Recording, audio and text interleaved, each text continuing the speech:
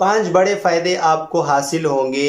एक दफ़ा भी अगर आपकी ये दुआ कबूल हो गई तो आपको इस दुआ की बरकत से पाँच बड़े फ़ायदे हासिल होंगे। पहला फ़ायदा, आप कभी मोहताज नहीं होंगे। दूसरा फ़ायदा, आपका माल कभी कम नहीं होगा।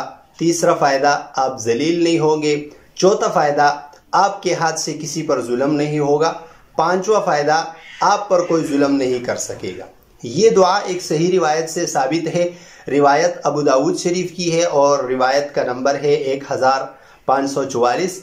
अबू हुरैरा रज़ी अल्लाह से मरवी है कि आप सल्लल्लाहु अलैहि वसल्लम ये दुआ मांगा करते थे, अल्लाहुम्म इन्नी आऊज़ुबिका मिनल फ़क्री वल क़िल्लति व ज़िल्लति व आऊज़ुबिका मिन अन अज़लिमा औ उज़लमा। इस दुआ का तर्जुमा ये है कि, ए अल्लाह मैं मोहताजी से पना माँगता हूँ। मैं माल के कम होने से पना माँगता हूँ। मैं जलील होने से पना माँगता हूँ। और मैं इस बात से पना माँगता हूँ कि मैं किसी पर जुल्म करूँ या मुझ पर कोई जुल्म करे तो ये एक बेहतरीन दुआ है, सही रिवायत से साबित है। अब इसके पढ़ने का तरीका क्या है?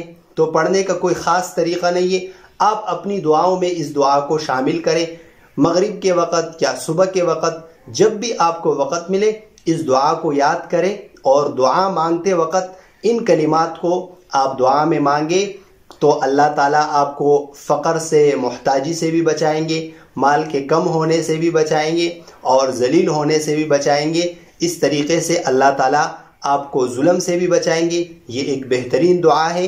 इसको आप याद करें और अपनी दुआओं में शामिल करें।